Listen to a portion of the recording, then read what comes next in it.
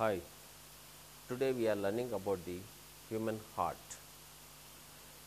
What is human heart? What is the size of the human heart? How it is functioning? Let us study about that one. The human heart is made up of a kind of muscle that is called the cardiac muscle. The human heart, the size of the heart is of its own fist. If you fold your fingers like this, this is called the fist. The person who is holding that one, the same size of the heart according to that. Now here, once if you observe the heart, how the heart is supplying the blood to all parts of the body, how it is collecting the blood from different parts of the body. Let us go very deeply into that one. Now here, there are two types of major blood vessels which are present. Those are called the superior vena cava and inferior vena cava. What is superior vena cava? That means the deoxygenated blood which is present in the head, shoulder and everything which is collected by the superior vena cava. What is inferior vena cava? Inferior vena cava collect the deoxygenated blood from rest all the parts of the body other than the head and shoulder. Both are coming here and when superior vena cava and inferior vena cava both after collecting the deoxygenated blood then slowly it enters into the right auricle. The right auricle and the left auricle these two are very important where it is collecting the blood. How it is collecting? Now just we see.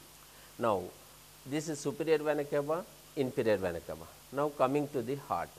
Once if you observe the heart, the outside of the heart we can see four groove like structures over that one. With that one we can see that heart is internally divided into four chambers. Chamber means here a small part of the portion is called the chamber. Now once if you see that heart four chambers, the upper two chambers are called the auricles and the lower two chambers are called the ventricles. Right auricle, left auricle, right ventricle, left ventricle. Now how it is functioning, let us go through that one.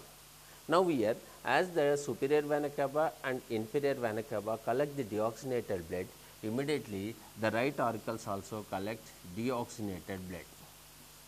As soon as the deoxygenated blood enters into the right auricle, here we can see the tricuspid valve.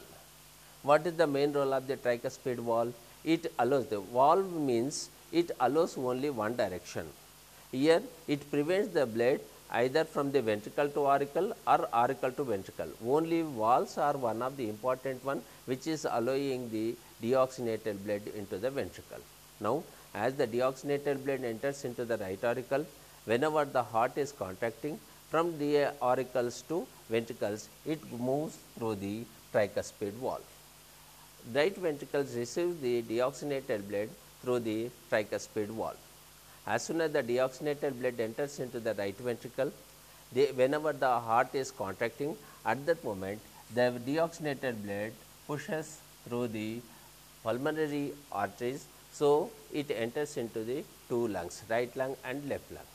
As soon as it enters into the lungs, lungs are one of the important one where exchange of gases takes place. Only it absorbs the carbon dioxide to eliminate out of that one and it supply the oxygen through the blood to the heart. Now, from the lungs again it enters into the left auricle. As soon as the left auricle receives the oxygenated blood, again there are two types of contraction. One is auricle contract, secondly ventricle contracts. When auricles are contracting at that moment through the bicuspid valve, the oxygenated blood enters into the ventricles. As the oxygenated blood enters into the ventricles, when the ventricles are contracting through the pulmonary vein, it enters into the all parts of the body. Here, once if you see this one, the upper part of the heart is called the auricles, lower part of the heart is called the ventricles, two chambers. Now, pulmonary auricles receive the deoxygenated blood, right ventricle receives the deoxygenated blood. When the ventricles are contracting, it is supplying the blood to the lungs. From the lungs, left auricle receives the oxygenated blood. From the bicuspid valve, left ventricle receives the oxygenated blood and it supplied to all parts of the body. This is one step. Second step, there are three stages in the heartbeat. What are these three stages? Here, first auricle contracts, second ventricle contracts, both relax at time. So, contraction of the auricles, contraction of the ventricles, relax. Whenever the auricles are contracting, either deoxygenated blood enters into the ventricles, oxygenated blood from the left auricle enters into the left ventricle. When ventricles are contracting, at that moment the valves does not allow the blood into the auricles. Here the left ventricle oxygenated blood supply and the right ventricle supply the blood to the lungs. This is the three stages of the heartbeat. Now, once if you observe the heart, the outside of the heart a kind of layer which is present that is called the pericardial layer. Pericardial layer, what is that pericardial? That means first of all the heart is made up of a kind of muscle that is called the cardiac muscle. That means it is not very soft or it is not very hard just like bone. So, in this pericardial layer and the heart there is a fluid like that one which is present in pericardial fluid. What is the main role of the pericardial fluid? That means here whenever we are moving, whenever we are running, whenever the physical shocks takes place, at that moment a kind of pressure also will not fall on the heart. The pace of the heart, it continues it beating. So, the pericardial fluid which is present in the heart, it controls the pressure and everything to normal function of the blood.